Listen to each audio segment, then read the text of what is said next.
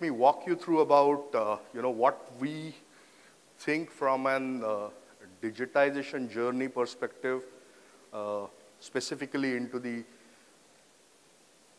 customers who are into the SAP uh, landscape. And uh, SAP is, uh, you know, more or less perceived as by generally and more of a ERP tool, but there are various facets from a business uh, solutions and business values perspective, and uh, that would, uh, you know, help a lot of customers to start walking on this digitization journey. however, from a digitization perspective,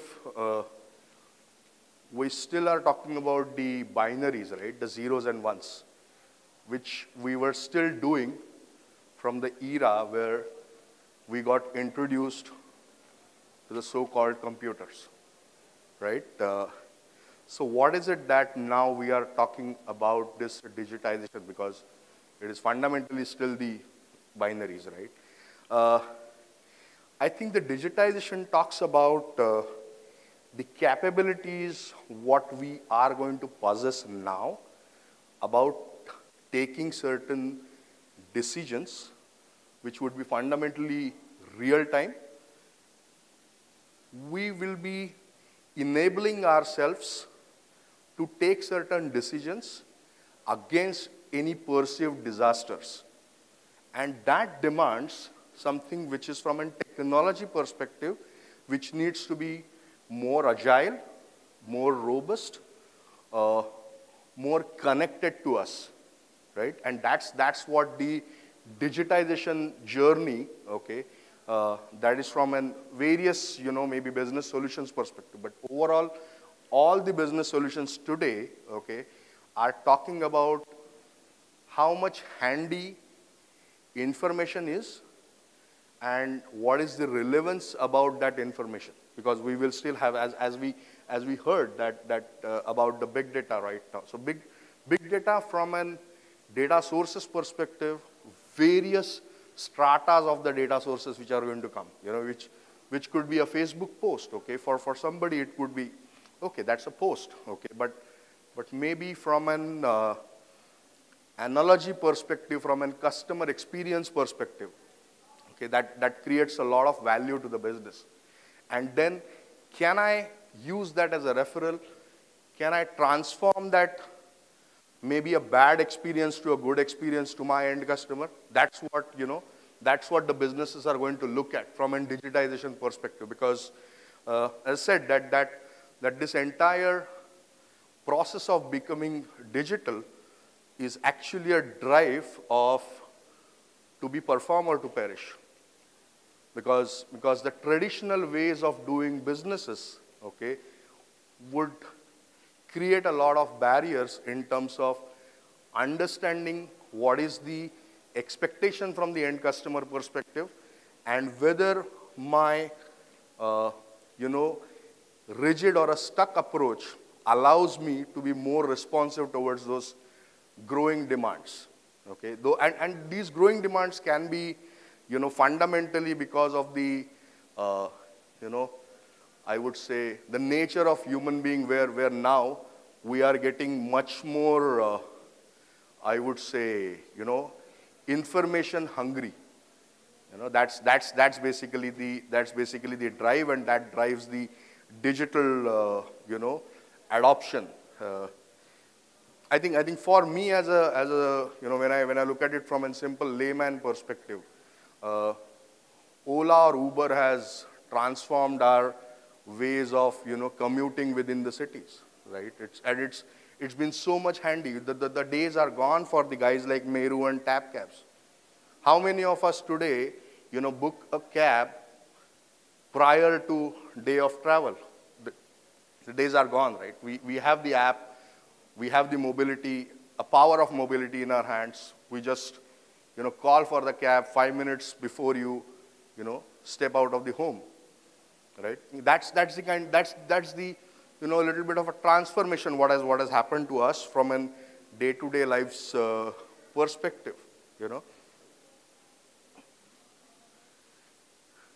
So what we are going to do is I'm, I'm going to speak something from an uh, Fujitsu and SAP perspective. Uh, we will run through, you know, uh, uh certain key aspects. Uh, then I'm going to be accompanied by Himanshu uh, from Intel. Uh, from Fujitsu perspective, you know, uh, creating the, or walking this journey from, along with Intel from a digitization perspective is, is again a, a core uh, block in terms of creating those value platforms for the customers.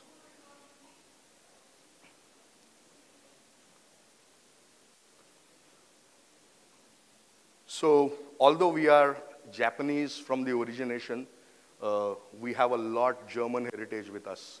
So, so you know, we are the uh, IT OEMs uh, which do not have any manufacturing apart from Germany and Japan.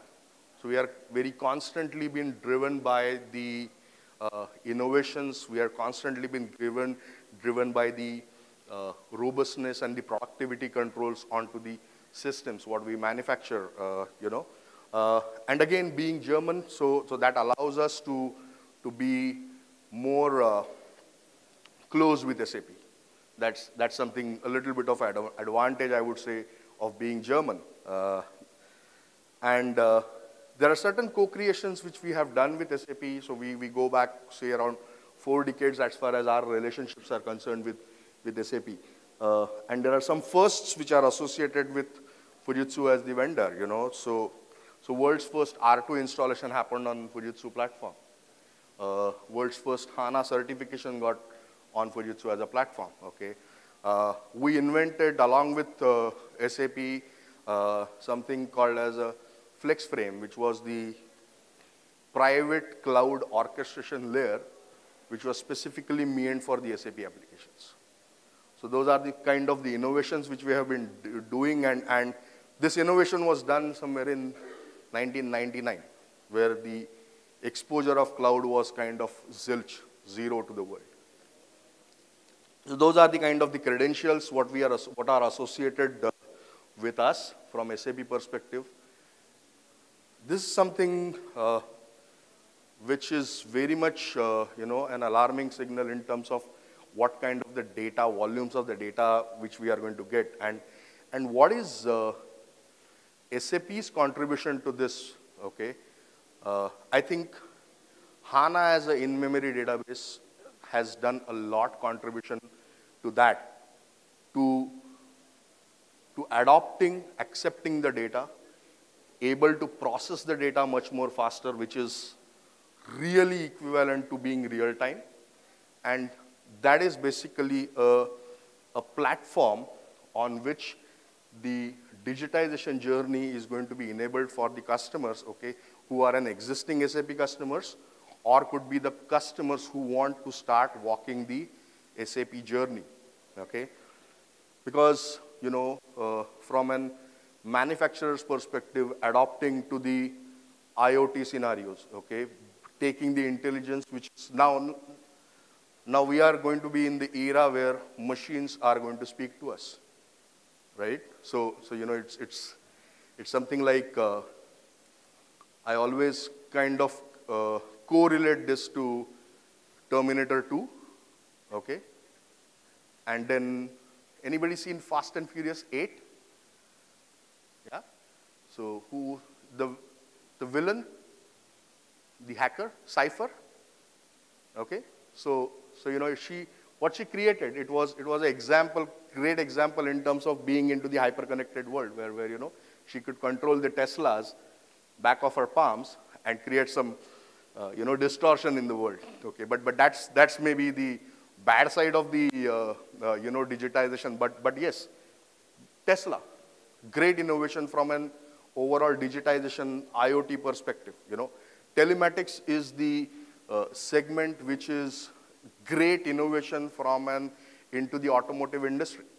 What they are doing, it is, it is all creating a different experience from an end user or a driver perspective that I am, my car is sending a lot of information to the OEM, okay, and they are going to create a different experience from a serviceability perspective right? So th these are the kind of the digitization journeys, okay, what, various industries, various verticals are going to get into. Uh, something like what we heard into the fraudulent management systems in the banking segment. Today, fraud managements are only possibly detecting the possible frauds, right? But can we have a real-time system which is sitting parallelly to the core banking system and before the transaction hits to the core banking system, hey, I think there is a fraud happening and can I real-time block that, okay? So those are the something, you know, capabilities which could be coming in via in-memory databases. The fundamental shift when it, maybe not relevant maybe from the HANA perspective, but, but of course from an in-memory perspective where it has propelled this entire discussion about being really fast and real-time active is two uh, you know, changes which fundamentally allowed this to happen is HANA as a database moved from any, any pure database experts over here? So, so any classical database, what we call it as be it Oracle or SQL or DB2 or anything, okay? A database is sitting in rows and columns. HANA is transformed as a columnar database. There is fundamentally everything is in column. So you are going to, you know, your queries are going to access across the column. And then the transformation which happened is from an spinning drives, the database is now sitting into the memory. This allows you a response time of nanoseconds. So that is where now, you know, whatever could be our dreams are going to turn into the reality, right? So that's, that's, that's the kind of the power of in-memory databases which are going to sit inside our data centers or inside the clouds, okay, and, and, and we are going to have the access of the information back of our palms. So that's, that's the, you know, journey where we are going to walk into. So, you know, from a driver's perspective, yes, in-memory databases or, or adoption to the new technologies, these, these are going to be the key uh, business drivers, okay? Challenges, how do we adopt to this, okay? Who is going to be my partner who can walk this journey along with me, okay? And that's where we, we, we kind of work, uh, okay?